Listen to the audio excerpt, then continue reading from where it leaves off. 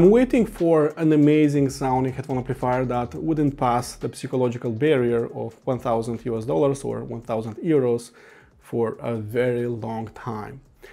Singxer SA1 was very close to that title, closely followed by Topping A90, A90D, A70 Pro, but still all of those weren't really up there with the very best solid-state headphone amplifiers. The sound of headphone amplifiers is directly correlated with internal components with the working principle. If those components are not of high quality, then of course the sound will be exactly like that. However, when you carefully pick every single component to work in harmony with your source, then the end result should put butterflies in your stomach. I'm happy to report that four years later I finally found that amplifier that is called Aune S17 Pro, which goes for 699 in the US and 729 euros here locally. So let's check what's so special about it. A couple of days ago I reviewed their S9C, which is a really nice DAC and headphone amplifier, which has a similar price point with S17 Pro. The only difference is this one is just a preamplifier and headphone amplifier that Aune Audio further refined, adding more power and R2R volume control, additional fully discrete components, and a Class A working mode, which further improve the sound, making it flow more naturally. Build quality wise, S17 Pro is pretty much identical to S9C and to all the past devices like S6 Pro, S7 Pro, having the same CNC machined aluminum case, uh, carved from a single block of aluminum with two plates attached to its front and back. Compared to S9C, this one is a little hotter, especially when used in Class A working mode, and since it gets uh, the same short rubber fit, may I suggest using a 4 Isopax Mini, which will elevate it from the ground and also improve uh, heat dissipation in the long run. As for controls, we have a 4-pin XLR, a 4.4mm balanced output and a regular quarter inch headphone jack. We have a big colorful display exactly in the middle and of course a massive uh, volume knob to its right, which is actually an R2R volume control, which I like very much. On its back we have a pair of RCA and XLR analog inputs and a mirrored symmetry of analog outputs since it can work as a dedicated preamplifier in a stereo setup. Under its hood is where all the magic is happening. The input stage is based on two JFET transistors per channel. We have four channels right here, and those are trying to mimic the sound of tube amplifiers, sounding organic, quite sweet, quite natural. The output stage, on the other hand, are based on uh, 4 transistors per channel, so 16 transistors in total. We also have hundreds of diodes and resistors, and all of those are forming a fully discrete and fully balanced headphone amplifier circuit, which is providing up to 7.5 watts of power in 32 ohms. Mind you, not in 16 ohms, how many headphone makers are trying to trick you. And this one also provides almost 1 watt of power in 300 ohms, which is honestly a lot of power. It puts in class AB operation, but uh, with a touch of a button you can uh, change to full class A operation, which uh, will be doubling the current output to your headphones. Its output transistors will be heating up uh, quite a lot versus class AB, so uh, this one will get hotter. And if it reaches 69 degrees Celsius, it will automatically switch to class AB operation. However, in my office, which is not a very well ventilated area, it never reached those 69 degrees Celsius. If that is the case, uh, just leave more space all around it and maybe use some uh, Isopax Mini for a better ventilation and it will never reach those 69 degrees. Those fully discrete input and output stages are drawing power from a custom 50 watt linear transformer which is then regulated and filtered several times. And that is a good thing because I really like the sound of linear transformers and not so much of uh, switching mode power supplies. And lastly, it has an R2R volume control uh, consisting of four ladders, uh, which are providing you about, uh, not about, actually 64 uh, steps of volume, which should be enough even for ultra-sensitive IEMs or ultra-sensitive headphones. So in the end, I do believe this is one of the best volume implementations that you can have at any price. And overall, I do believe S17 Pro is following every rule a solid-state head amplifier should have. A linear transformer, check. A fully discrete and fully balanced amplifier stage, check. R2R volume control, check. Class A working mode, check. And lastly, abundant power delivery for the most demanding loads. Again, it's a check. The first thing that you should know about uh, fully discrete amplifiers that use linear transformers is that you would need at least several days for burn-in until it will giving you maximum performance. Even that R2R volume control needs at least two days until those resistors are entering its uh, optimum parameters. I have this unit for more than a month, actually about two months, and I was still skipping this video, not because I didn't want to review this one, I wanted very much, but once I was powering this one and uh, music started playing, I didn't want to write anything down, I didn't care about dynamics, transients, soundstage, resolution, that is not really important with S17 Pro. I just want to listen to a lot of music and be carried away. Actually, all my videos that I released in the last two months or so were edited on this one. Uh, why? Because my voice sounds uh, bolder in a way and it's almost pulseless on other amplifiers. Also, when listening to music, everything is just uh, pouring naturally like a mountain spring. Everything feels very powerful, especially in the bass. Uh, the mid-range, it's sweet, it's organic, it's natural sounding, and the treble, it's completely brightness-free. So this is mostly like an effortless, very easygoing, uh, natural and sweet sounding amplifier uh, that you can use for hours and hours without any kind of listening fatigue. I went and listened some aggressive stuff, uh, electronica music, I listened to all kinds of things uh, even underground music, which should tire you down with something like HiFiMAN Susvara, but uh, that never happened with the S17 Pro. It does justice to music, and although it's also a technical sounding headphone amplifier that will unearth all those small details happening behind your tracks, I believe its superpowers are the natural flow of the music, powerful dynamics, especially in that Class A working mode. I I remember reviewing that uh, Singxer SA1 and it left a profound impression on me because it was quite natural, quite organic sounding and it had the right price point. The only thing it didn't have uh, was uh, power, control and uh, powerful dynamics. It wasn't able to drive the heaviest loads. This one feels like a natural successor to SA1 with the exception that we get a lot more power, a lot more control, more powerful dynamics, and of course a much more fun sound signature. My flagship headphone amplifiers are considerably more expensive than this one, and it's a little bit uncomfortable to me recommending you such expensive amplifiers. That I will never do. I'm not that kind of snob that believes only in super high-end electronics. I know that you can get some amazing sounding stuff on the chip and I do believe uh, S17 Pro is that kind of unit. My flagship solid state head amplifier is uh, Enleum AM23R which has very similar traits to this one. So it's very organic, it flows, it's very natural. You are not thinking about um, you know detailed retrieval transparency, soundstage, dynamics, all those things are not important when listening to the Enleum. You just want to immerse yourself into the music. This one is very much the same, so you just go with the flow. You want to listen to more stuff. And um, this is what is impressive about S17 Pro. Let's talk about power as this is a very important topic. S17 Pro offers you a stepped volume control with 64 steps. Now imagine that with all my headphones except for one, I could reach maximum a volume of 30 out of 64. Even with the Sennheiser HD800S, I could barely reach that volume. So again, I had more than half of power remaining on tap for some crazy wild dynamic swings. When I wanted to rock really hard, I could reach maybe 32, maybe 33. So again, I had plenty of power. All this time, S17 Pro didn't flinch a single bit, so it was exactly as effortless, exactly as dynamic, punchy, groovy.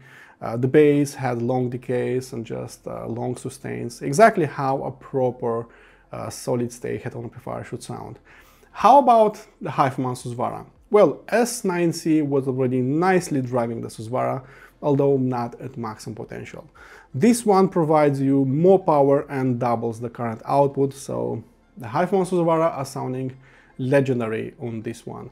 It's not exactly on the same level with uh, Enleum AM23R, but it's very, very close to that one, and that makes me very happy. Um, Volume-wise, I could reach uh, 50 out of 64, so again, I had plenty of volume remaining on tap. When I wanted to really rock hard, that would be about 55. But all this time, I never felt that Susvara were losing its charm, you know, losing some bass or dynamics or mid-range. They sounded exactly as I know them to be on some top class amplifiers. So I'm very happy for this because uh, finally we have an amplifier below one grand that can fully drive the HiFiMAN Susvara. And if you want my highest recommendation below one grand, that would be the S17 Pro. The difference between Class A and Class AB is not a massive one, and with a pair of IEMs or sensitive desktop headphones, there might be not a difference whatsoever. However, with low sensitivity headphones, especially those having a low impedance, there is actually quite a difference. Class A adds a sensation of control, especially with the HiFiMAN Susvara, and I'm pretty sure the same will happen with DCA Expanse, uh, with Stealth, with Abyss uh, 1266. The music just becomes a river of sounds. The timing is improving actually substantially and that adds a sensation of rightfulness of this is how music should sound. Class AB is no slouch and sounds very good, but some of the magic simply goes away. The sound is no longer as tight, it's no longer as controlled, and the flow of the music is no longer as impressive. With easier tasks like uh, Valley, like Apos Caspian, like uh, Focal headphones, uh, there is very little difference or no difference at all, although with Class A the music will flow just a little bit more naturally. There was another change, but that happened mostly with uh, reference recordings, especially when we have some low intensity sounds that are building up to some very high intensity sounds, like a big drum dropping on your head. The sound gets powerful in a microsecond and it doesn't feel as lightning fast via Class AB. Not a major difference, but a clear one, especially when a well put together setup. The transient response and dynamics are impressive on this one, especially in Class A working mode, but you need to be patient as uh, those will show their ugly faces after about 30 minutes of use. Once its internal temperature is no longer going up, the sound will stabilize and you'll get a very consistent thump and oomph in the bass. That is not happening when the unit is cold to the touch. All fully discrete amplifiers are having these rates and if you ever owned a fully discrete amplifier then you know about this, so this shouldn't be a surprise. If you listen to East London Street by Hidden Orchestra, there is a low intensity rumble in the bass that pulsates and just uh, decays very slowly and very naturally. That particular bass note is short-lived and almost empty on other amplifiers, but right here is beautifully rendered, it's very rounded, it's full-bodied and it pulsates with energy. Dreams by River Silvers has a very similar bass line that is slowly building up and slowly fading away. This slow build up and slow fade away in the bass is usually associated with really good headphone amplifiers. Think about expensive to super expensive amplifiers. And I'm getting all of these uh, from the S17 Pro that isn't costing as much and yet it can accelerate, sustain and decay a bass note properly. In simple terms, its speed and punching abilities are extraordinary. And if you like powerful dynamics, then S17 Pro fits that description very well. The sound stage of an amplifier is directly correlated with its power output, working principle and power supply implementation. This one has a linear power supply. This is a fully discrete and class amplifier, having all the power that you can dream of. So I won't gesticulate with my hands too much, but um, this one does its mambo jumbo on acoustic and live music. Even with some electronica tracks, the sounds are trying to escape my ears, the ear caps of my headphones, and trying to dance somewhere all around your head. I don't need to close my eyes for the sounds to start appearing somewhere behind my ears or up or below my chin. It does play with my imagination and those are the very first signs that the sound isn't limited, flying off in all directions. The soundstage, it's not small or medium-sized, how I usually describe amplifiers sitting below one grand. This one is bigger sounding than that. I was listening to this track, I don't know how to pronounce those words, and in no time, a few shamans started appearing around my office doing some voodoo dances. That air harp and those air instruments sounded so real. That was actually a magical moment for me. I almost reached a nirvana state. Please give it a try, it's an amazing track, it's recorded to the higher standards. Resolution is impressive on this one, but it renders music quite differently compared to say a Topping A70 Pro or A90D. This one focuses mostly on the innards of the music, on the core, on uh, the meat on the bone. Uh, something that uh, A70 Pro and uh, A90D are not doing. Those are focusing on the leading edges, on the contour of the notes, on what's on the outside and not what's on the inside. The sound might get a little sharp on A70 Pro and A90D, uh, but uh, here it's fuller bodied and it's more textured. You feel the weight of the notes uh, hitting your eardrums. It's a quite visceral and physical experience, something that is not happening on uh, Topping made amplifiers. On the first listen, you'll get tricked that uh, um, this one might lack a small percentage of resolution, but after a close inspection, uh, you get all the notes, all the inner details, uh, but those are no longer screaming for your full attention. Most importantly, uh, this one uh, digs deeper, so you have that amazing layering and depth, uh, which uh, those THX, NFCA, and PLFC amplifiers do not have. So if you know where to focus, uh, those notes will be waving at you pretty easily. And combine that with an extended and layered sound and you are getting all the skills a well-made amplifier should have. Going into the frequency response, switch it to class A working mode and the bass will score nicer lap times, getting faster and punchier at the same time, while controlling nicer all that energy. The bass is actually the biggest highlight of uh, fully discrete amplifiers, uh, getting technical and clean, but also uh, textured, punchy, visceral, heavyweight and quite uh, natural sounding. It doesn't go overboard with the bass. This is still a very linear type of bass, but it's a different type of linearity compared to say a Topping made amplifier. This is fun linearity that uh, tingles your senses, getting emotional, impersonal in no time. The mid-range is again somewhat of a highlight of fully discrete class amplifiers. And if you are coming from op-amp based amplifiers, which are flooding the market, especially below one grand, then this one will feel like having a few vacuum tubes inside sounding sweeter, warmer, more organic, doing justice, proper justice to mid-range and to everything that is happening in this region. Actually, if I think about it, this is the best mid-range representation that I've heard in four years from solid state amplifiers costing below one grand. It's a powerful statement, but it's all true. This is a legendary sounding mid-range, which can be compared with pricier amplifiers any time of the week. Treble might feel rolled off at first, slightly smoothed out, a little rounded at first, but no, this is how S17 Pro is rendering treble information. Enleum AMP23R has very similar traits. It's very clear in the treble, but at the same time there is nothing of that edginess or brightness. It just sounds right in the treble. And S17 Pro is reminding me a lot about uh, that amplifier, just compelling you to listen to more music, going with the flow. S17 is uh, basically like that.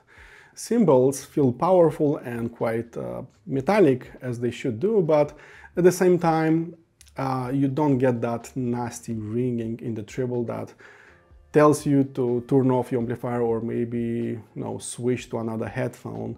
That is not happening. You can listen to bright tunes on this one. You can listen to bright DAC or bright headphones. That wouldn't be a problem with this one. There is no digitus and no listening fatigue at the same time. In conclusion if you own a Singxer SM1 a topping A90 A90D A70 Pro SMSL SH9 SP400 HO200 or an Aune S7 Pro, then S17 Pro feels like a natural successor, giving you so much more than just power alone. After it gets warm, the sound will get emotional, uh, close and personal, but without uh, crashing down on you. It's both engaging, punchy, and also calm, like a bomb. It will drive your entire headphone collection with aplomb, and it will never raise the noise to dangerous levels with IEMs. Simply put, this is the very best solid state headphone amplifier that I have ever tried below one grand.